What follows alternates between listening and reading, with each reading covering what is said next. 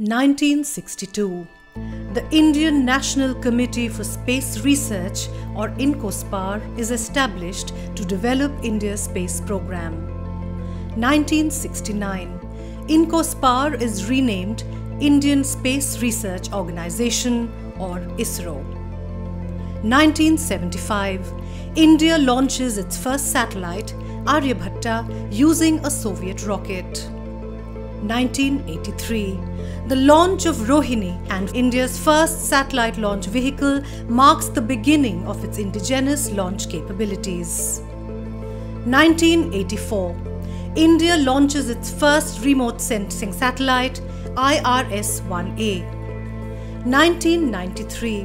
The Polar Satellite Launch Vehicle or PSLV is developed, becoming India's primary launch vehicle for satellites.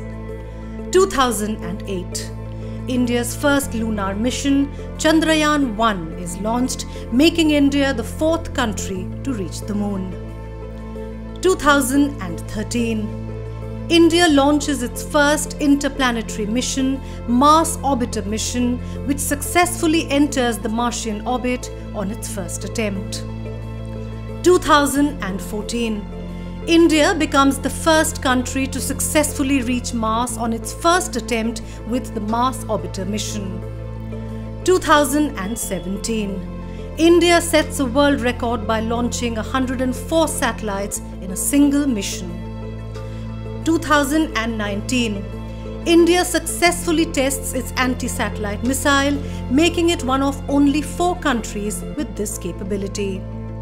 2023.